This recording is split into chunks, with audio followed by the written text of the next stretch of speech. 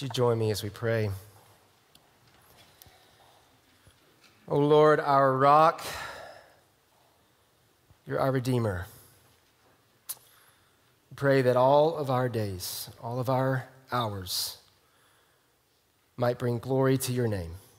Even now, in the preaching, in the hearing, and as we move out in the living out of your word, God, would you bring glory to your name?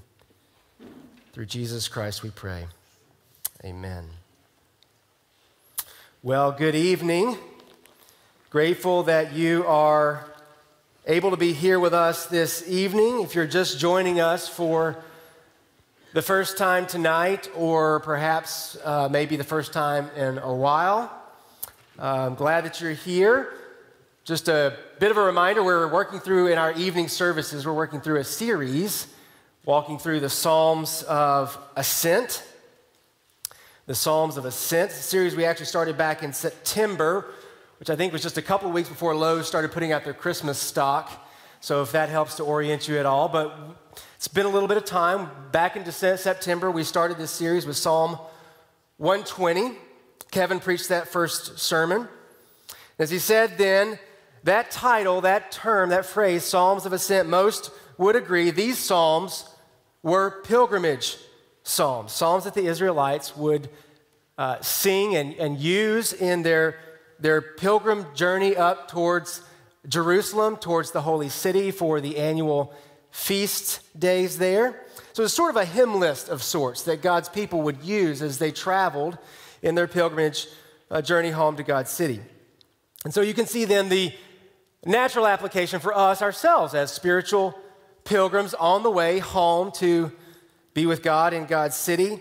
These Psalms then serve as wonderful reminders to us. They instruct us in crucial themes, things that we need to know, things that we need to remember and rehearse and remind ourselves of, to live by and be encouraged by, things that we need to sing and celebrate as we travel along the way.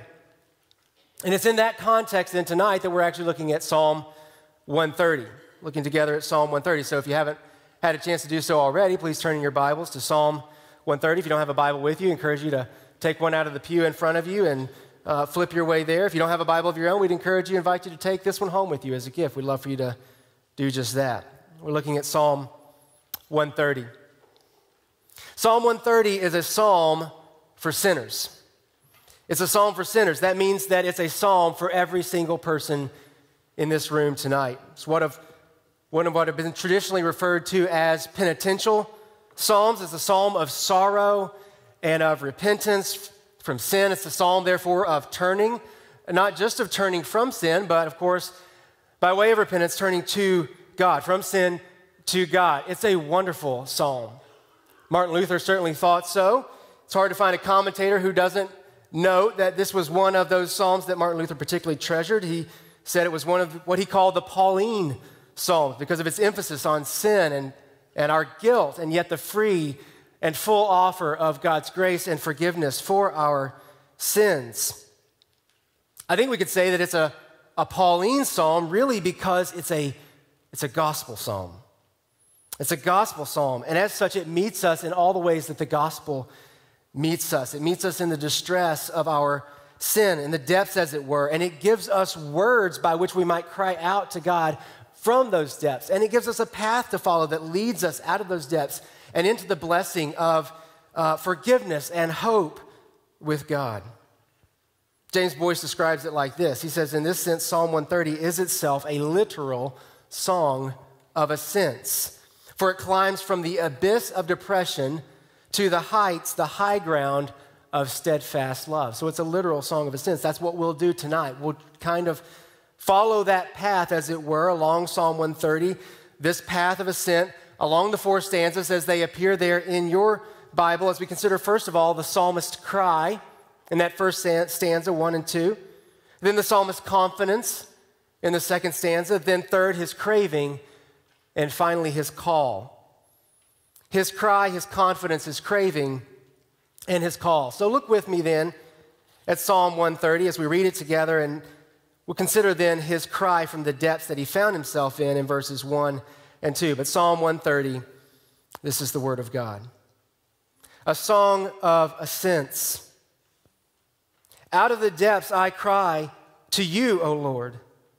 O Lord, hear my voice. Let your ears be attentive to the voice of my pleas for mercy. If you, O Lord, should mark iniquities, O Lord, who could stand? But with you there is forgiveness that you may be feared. I wait for the Lord. My soul waits, and in his word I hope. My soul waits for the Lord.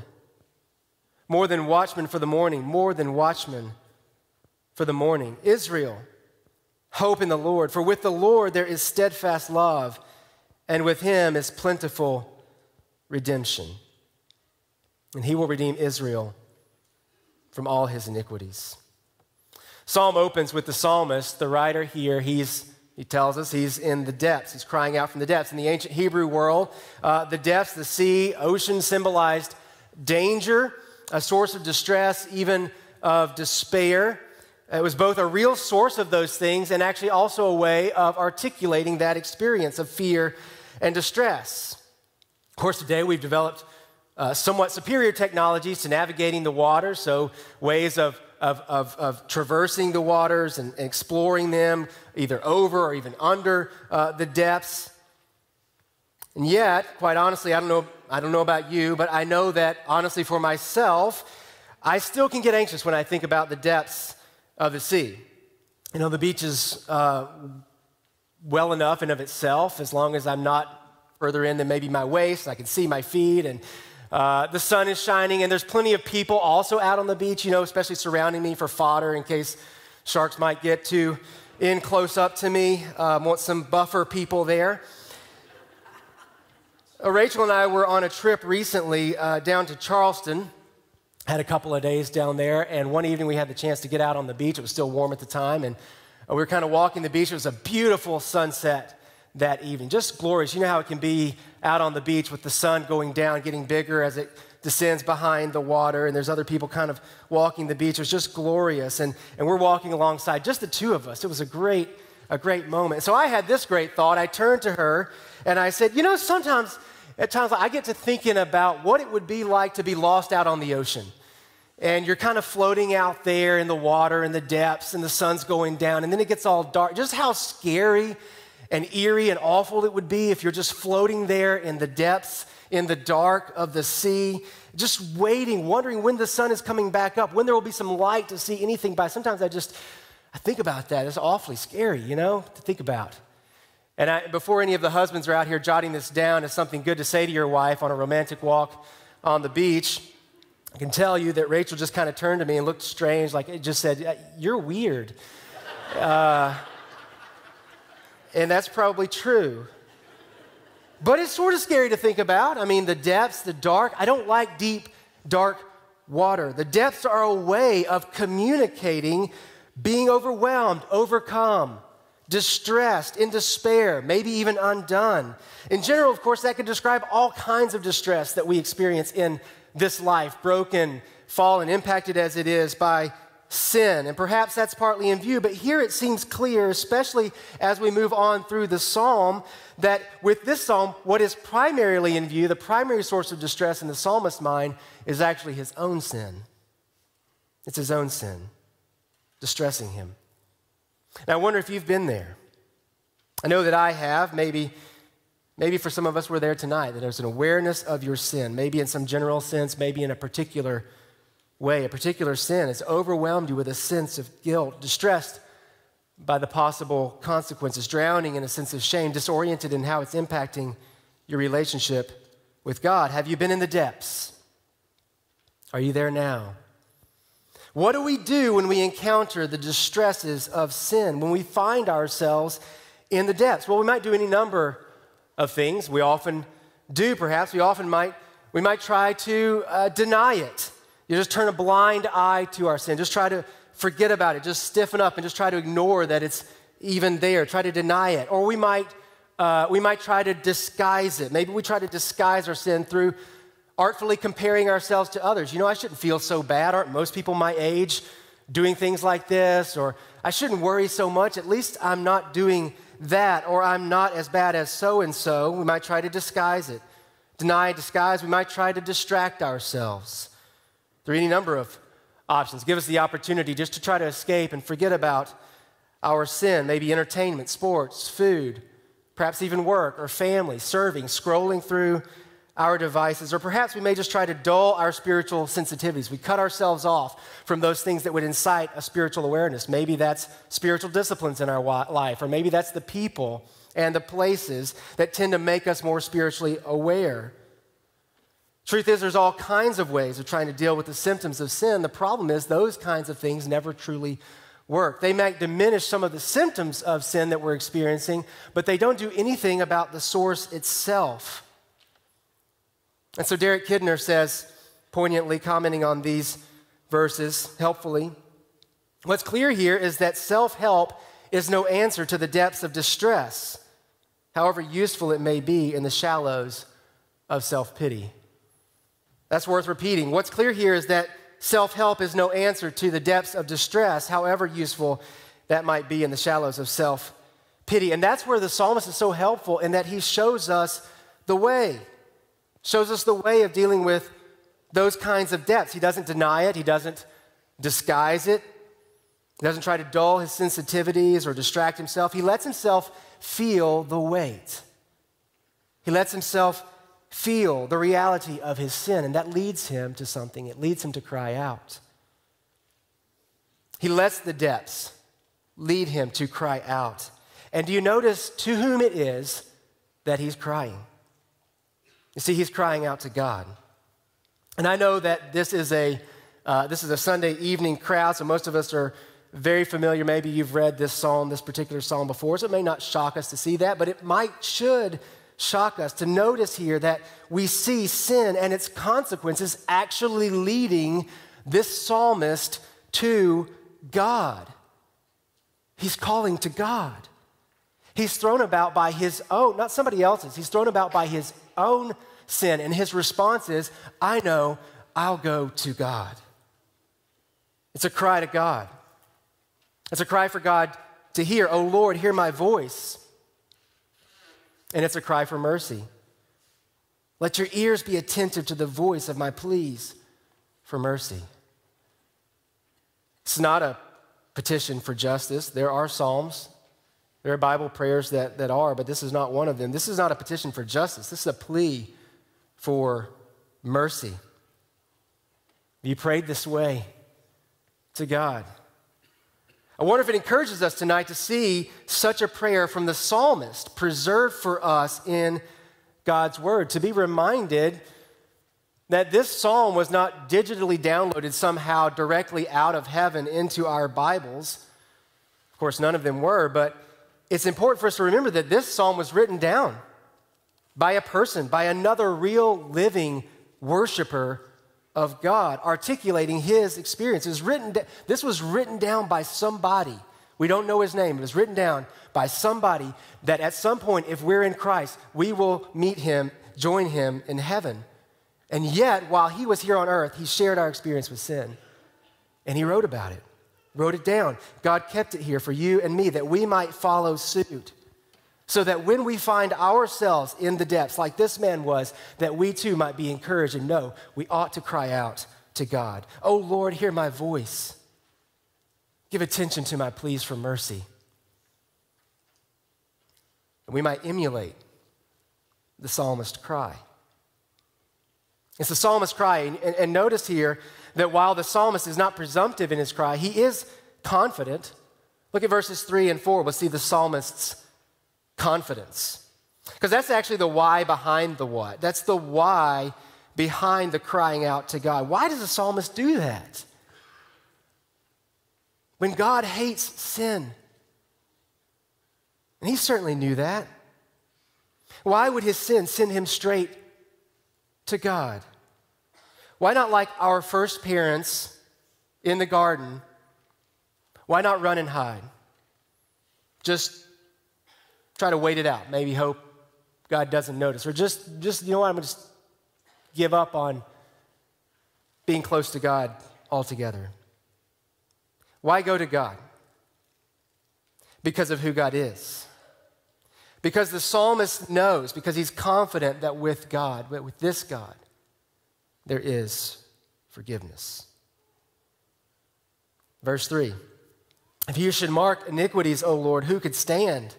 It's a rhetorical question, acknowledging the truth we see reflected in all of Scripture, but made explicitly clear in places like Romans 3:23 for all have sinned and fallen short of the glory of God. All have.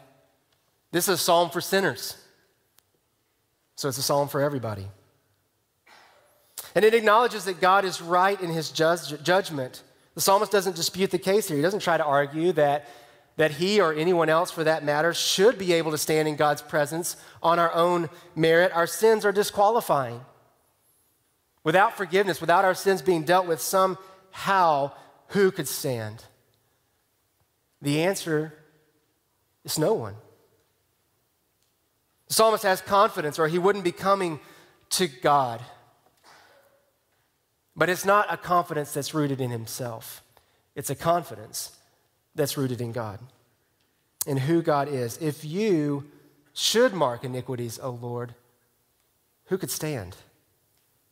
But, and isn't that wonder, word so wonderful in Scripture? What a wonderful word to come next. But, just that there's any word that comes next, that that wasn't the last word for us.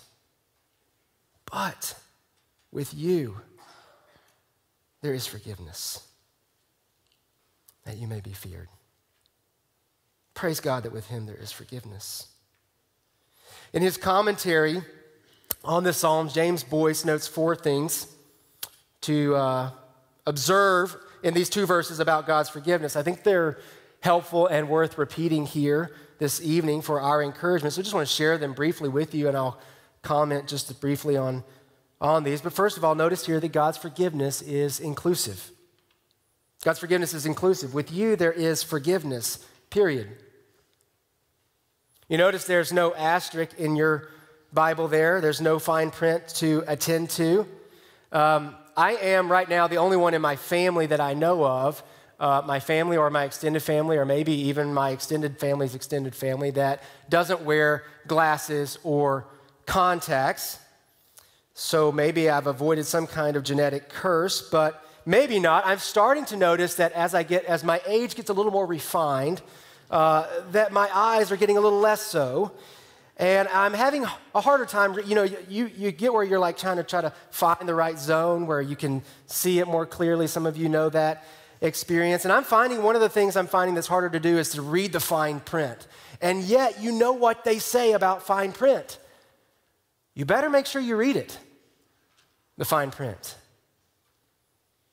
Brothers and sisters, friends, we can be so thankful that there is no fine print here in Psalm 130. There are no qualifications, no excluding clauses or conditions. God's forgiveness just is. It sets no limits, not in quality or quantity. There are not certain sins that God will forgive and others that He won't. There's not a quota, not a limit, a certain number of times He will forgive a genuinely repentant sinner seeking God's mercy and grace. God's forgiveness is inclusive. And Boice notes that it is for now. God's forgiveness is now, for now. With you, there is forgiveness. Highlights literally that the Hebrew literally reads, with you, forgiveness. So, quoting Boice here, you do not have to work for it or earn it. You could never earn it anyway. But there is forgiveness now, at this very moment, and it is for you, whoever you may be, wherever you are, and whatever you've done. God's forgiveness is inclusive, it's for now, and it is for those who want it. You see, this inclusive, immediate forgiveness is not given to everyone, but only to those who recognize that they need it, those who want it, and those who, in faith, through Christ, ask God for it. So I just got to stop there just briefly, and I just wonder, ask tonight, is it possible that you're here tonight, you've never asked God? for that kind of forgiveness. But that you know that you need it. You know that you want it. What only true forgiveness from God can provide peace of conscience, a way out of the depths, a quieted soul, before God. Let me just say, friend, if you're here and that's you, I am so thankful that you're here tonight to hear this because this psalm is assuring you that you can have that very thing and you can have it right now. You can have this kind of peace with God. Because in his love and mercy, God the Father sent God the Son, Jesus Christ, who came willingly. He lived perfectly. He gave himself fully and freely to satisfy the demands of God's justice for sin so that this kind of forgiveness can be freely and fully offered and freely and fully received with confidence by us. And so God's forgiveness is inclusive. It is for now, it is for those who want it. And last, clear here in the text, Boice highlights this as well, though it leads to godly living. I see it there with you. There is forgiveness that you may be feared. It seems a little bit ironic, or at least it, it feels that way. Doesn't forgiveness lead to getting run over, or at least maybe to repeat offenses? When does forgiveness lead to being feared? The psalmist tells us with God, it, it does. At least it should. When you really know that you need it, and when you're truly grateful that you have received it. It's important, of course, to note here that this fear is not cowering in some anticipation of harm. We're talking about forgiveness here. No, it's reverence, it's awe, it's, it's a recognition of God's worth and beauty and awesome justice and power, and yet also the glory of His love and mercy and forgiveness that leads to true adoration and love of God and a desire not to repeat those same offenses, those same sins again. Scripture is abundantly clear that God's forgiveness should not lead to spiritual laxity, but entirely the opposite. Of course, we're going to continue to struggle with temptations. We're going to continue to give in to sin as long as Jesus tarries to return or until we go to be with Him. And yet, God's forgiveness should lead to a true, renewed desire not to do so.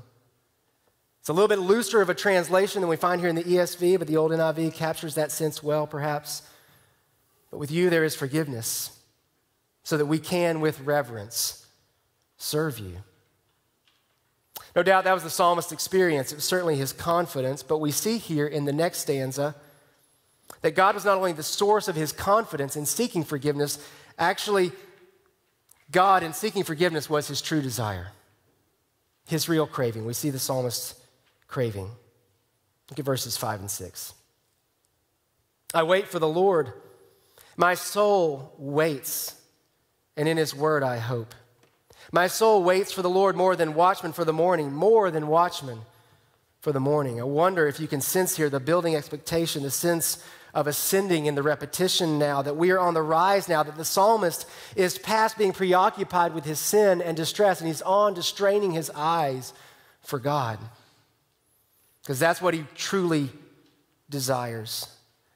So, friends, you see tonight here that forgiveness, as wonderful and as majestic and as beautiful as it is, is really just clearing the way for what the psalmist really longs for that is, for God Himself. Again, Derek Kidner says, It is the Lord Himself, not simply escape from punishment, the writer longs for. Well, there may be a sense here in which he's looking for a sense of of confirmation or a sense of assurance of his forgiveness, or, or maybe a renewed sense of, of fellowship, a renewed sense of that intimacy with God. While forgiveness is immediate, sometimes those feelings or that sense of, of fellowship may follow. Maybe that the psalmist is looking for God to meet him in the needs of the consequences in the distress that, that sin has created in his life, most especially his own. Maybe all of those. But what's clear is that he is waiting and that he is waiting for God. And again, that can be, I think, for us an encouragement here tonight that the psalmist here shared what many of us have ourselves experienced, perhaps what some of us are experiencing even here tonight. How often our life with God involves waiting. And a life of repentance, a life of dependence is a life in part of learning of learning to wait and also learning to hope. Learning to wait and learning to hope. Because you need to notice here that the tone of these verses is not one of waiting in despair, but waiting in optimism, waiting in expectation. There's an expectant longing here that leads to looking like watchmen for the morning, he says. Uh, I've never been a night guard on watch. I don't know if that comes as a surprise. Sentinel on duty, kind of manning his post, standing out there in the depths of the night, no doubt tired. Perhaps he's alone. He's, he's scanning the horizon for any possible signs of an enemy. He's probably also looking for any signs of the sun, you know, those first rays to come up, reminding him that the morning is coming that others might soon join him, that relief from his night shift was arriving. I haven't had that kind of experience, but I can imagine, I don't know if this is close or not, but something that might be sort of like that. I can remember when we had Ellie, she was our firstborn. And uh, when we had her, we would be up in the, the middle of the night. Rachel was up nursing, and I'd be up. Um, I don't, I, I, don't know why I was up actually all that much. I just for support. Maybe I was a young husband, eager for some brownie points. Maybe I was changing diapers. I don't know. I think I was there though, because I can remember feeling very lonely in the middle of the night. We were exhausted. Maybe some of you are there right now, just sitting there waiting for that sun to come up and some movement in the neighborhood to tell you that not everybody had died in the night. People still live around you. People, you know, lights coming on, somebody coming out on their driveway to pick up the newspaper or to warm up their car, some signs of life, some signs of, of fellowship, some signs that the sun, you're looking, longing for that sun to creep up over the horizon.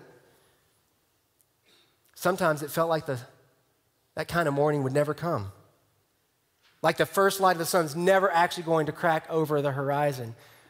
And yet, here's something I never actually thought, though it might have seemed like forever. I never actually had the real thought, well, maybe it's just not going to happen this time. I mean, maybe the sun just isn't coming up today. Now, we don't think that no matter how long the night might feel, we don't think ever, maybe this time it's just not going to happen. And I think that's part of the choice of metaphor here for the psalmist. Because sometimes the night seems to stretch on forever, but of course we know that it won't. The sun always comes up. Every single day you've been alive, the sun has come up.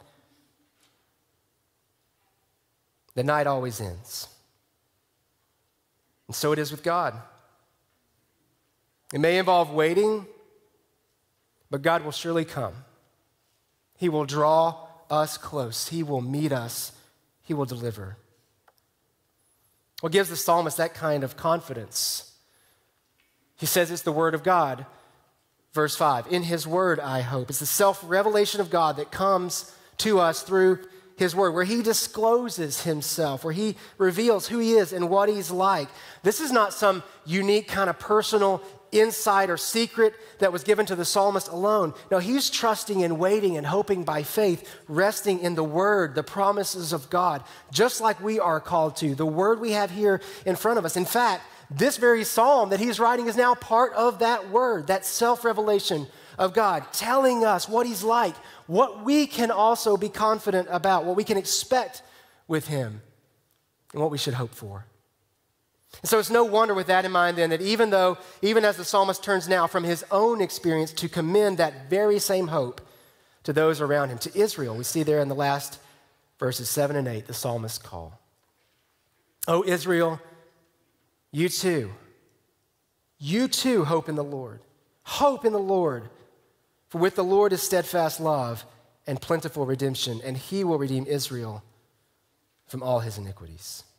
You see, the psalmist has become a herald now for the hope that he's found. It's, it's what God intends to happen for all of us as we come to know and to love and to cherish him and the life, the freedom, the forgiveness that we find in him, that we would then turn and be about commending him to others, certainly those without that hope currently, those who are currently on the outside of the community of faith. But, but notice here that it's not just to those outside the church that the psalmist is calling, or outside of God's people. He's calling to Israel. He's commending to Israel, to God's people, hope in the Lord. And by extension, he's calling to us. Through this psalm, he's calling to us. He's calling to you. He's calling to me to join him in his hope, in his confidence, in his trusting, even in his waiting. He can do so with confidence because that is who God is. This is who God is. Not like our parents sometimes, I'm sure not me, but maybe there are parents where you just hope you catch them at the right moment, you know, just at a right time. Maybe the game went well, they're in a good mood, they're feeling particularly generous. Not like that. Again, James Boice writes, in other words, what the psalmist found when he confessed his sin and sought forgiveness from God was not a once in a blue moon experience. It's something anyone can discover, for it's based on God's nature, which does not change. God is forgiving, as forgiving now as he has ever been, and he will always be this same forgiving God. Therefore, says the writer, put your hope in the Lord. You see, with God is steadfast love, that old Hebrew word for covenant faithfulness, this unbreakable commitment of God to his people for their welfare, to be their God based entirely, completely, solely on his grace alone, steadfast love, and there is plentiful redemption. Don't you just love that line? Not sufficient redemption, not just barely enough, not sparing, but full, plentiful, abundant redemption. He's going to take care of it all and he will do it all at his own expense. He will redeem, that is, to ransom, deliver, set free Israel, all of God's people, from all of their iniquities and from all their consequences. He'll wipe us clean. He'll wipe away every stain of sin, and he'll wipe away every tear from suffering. You know, as we've noted before, just think about this. If this kind of confidence, this kind of hope could be had by the psalmist living that long before the coming of Jesus Christ, how much more then should it be ours for those of us who live in this New Testament age as we do on this side of the coming, the living, the dying, and the rising of Christ for us? So, in fact, as we move towards a close, look one more time with me at verse 8. And He, God, will redeem Israel from all his iniquities. God will do it. God will redeem Israel from all his iniquities. Early Greek translators of the Hebrew there actually translated that word as anomia, lawlessness. That's how we translate it in our English versions. And keeping that in mind, then I wonder if you would, as we move towards a close, flip over with me to the New Testament, to Titus. Turn to the back of the Bible, towards the back of the Bible to Titus. Paul's letter to Titus, chapter 2 verses 11 through 14, because I want us to see there a connection that's been observed by some, but between what the, the psalmist confidently anticipates as promise and what Paul joyfully celebrates in its provision to redeem us from lawlessness. Verse 11 through 14 For the grace of God has appeared, bringing salvation for all people training us to renounce ungodliness and worldly passions and to live self controlled, upright, and godly lives in the present age, waiting for our blessed hope, the appearing of the glory of our great God and Savior, Jesus Christ, who gave himself for us, here it is, to redeem us from all lawlessness, anomia, and to purify for himself a people for his own possession who are zealous for good works. You see, the psalmist holds out the promise. Paul highlights the provision. The grace of God has appeared in the appearing of Jesus Christ to bring us salvation, to redeem us from all lawlessness, to redeem us from all our iniquities. And how did he do it? Paul tells us by giving up himself. Jesus gave up himself. He descended to the earth, he ascended to the cross in order that there he might offer up his his very life, his very blood in our place that we might then ascend from the depths of our sin, that we might have forgiveness, and that God might provide for us through him plentiful redemption. I was reading uh, this weekend a little book by Michael Reeves called Overflow. It's a little book about how delight in who God is, specifically as a triune God, ought to, ought to produce a, a sense of joy and, and hope and excitement in us that should overflow into a life of mission. But I came across this little paragraph that could just as easily have found its way into a fitting response in some commentary on Psalm 130. And I just want to read it to you as we close here tonight from Michael Reeves. Know this, dear friend, know this. There is more power in Christ's blood than there is in all of your sin. Right now, if there is any coldness in you, any sin unconfessed, rather than try to cover it up and hide from Christ, why not hold it out to him? Let him prove himself to you right now as a gracious Redeemer and experience for yourself that this God is a gracious Savior to broken, messed up failures like you and me. When you see that that's how loving and how good our God is, then you think if he really loves me, not the mask, but me, if there is more power in his grace than there is in my sin, what a God. Here is a God more delightful and satisfying than anything else the world offers. Here is a God worth celebrating before all the world. And it's true. You know, we started this evening by saying that in Psalm 130, this is a psalm for sinners. But it's a great question to ask as we close why do we have psalms for sinners in the first place? Why do we have psalms for sinners? Because, friends, these Psalms, these, this is the Word of God. This is the revelation to us of who God is. And so we have Psalms for sinners tonight because, praise God, we have a God for sinners. Let's go and pray to Him just now.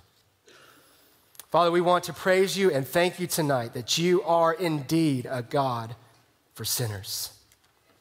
And that in Christ you have answered every need that we might have from our sin.